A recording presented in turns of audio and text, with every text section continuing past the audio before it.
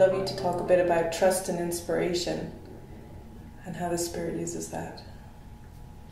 Yeah, trust is the like the cornerstone of the awakening process.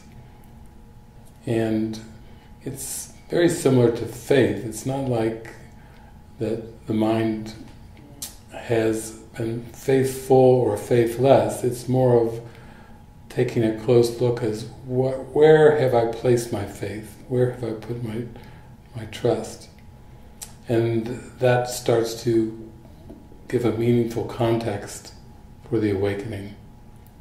Have I invested in in false egoic beliefs and egoic thoughts, or have I invested in the the spirit, which is really the undoing of those false beliefs and false thoughts?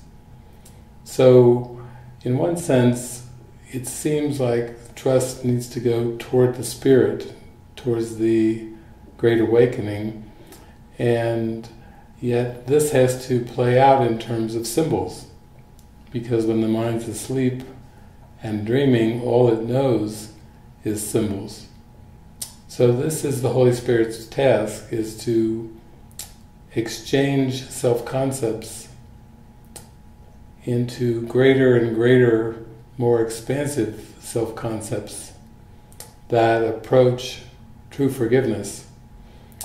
And this whole progression or movement is, of course, to the point of reaching a total release point where all illusions fall and seen are seen as nothing.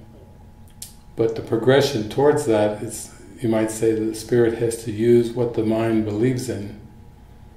Otherwise, it would be, would seem impossible to make those exchanges of those self-concepts.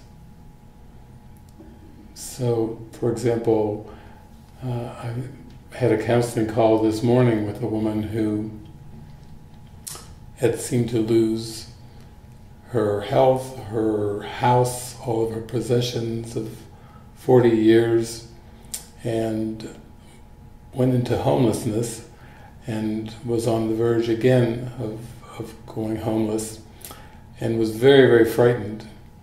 And so the, the whole conversation centered around seeing that actually things weren't being lost or taken away, but things were being devalued in the mind.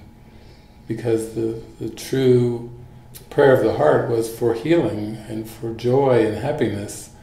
And these stories of these circumstances and things that seemed to be taken away were just part of that devaluing that was occurring.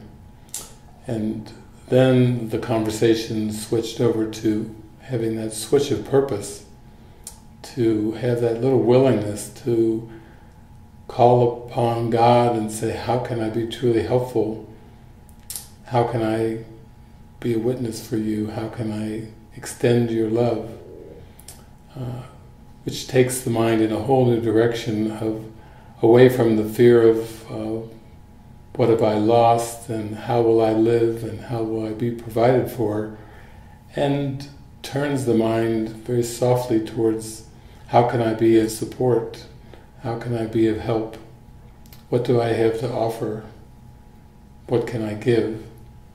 And so the conversation turned very quickly to, to that, that nothing was happening by accident and it was just a, a grand opportunity for, for turning the mind in a new direction into being truly helpful.